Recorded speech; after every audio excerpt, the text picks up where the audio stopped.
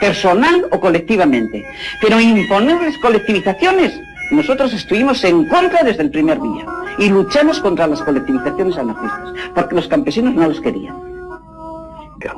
Los anarquistas querían aprovecharse de ese momento para instaurar el comunismo libertario, que era tanto como lanzar a los, a los campesinos fuera de la lucha, que era tanto como crear en la población un estado de simpatía con, los fascistas, que era tanto como debilitar la República. Los franquistas tenían una ayuda permanente de Italia y de Alemania.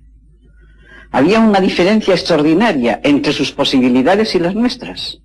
Nosotros luchábamos en condiciones de inferioridad respecto a, a las fuerzas franquistas. Actitud de Moscú, que quería hacer durar la guerra en España para alejar los peligros de sus fronteras frente al pacto anticoventer montado por Berlín, Roma y todo. Los acontecimientos de mayo del 37, en el momento en que sucedieron, no podíamos más que interpretarlos como una provocación.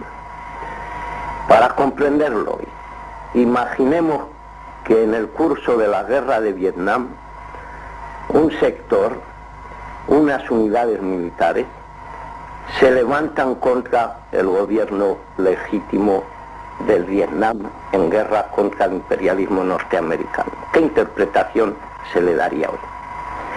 Posteriormente, en el análisis frío que podemos hacer hoy de los hechos, podemos comprender que no era tanto una provocación como la tragedia de una incomprensión la incomprensión del utopismo anarquista, la incomprensión del dogmatismo trotskista, del PON.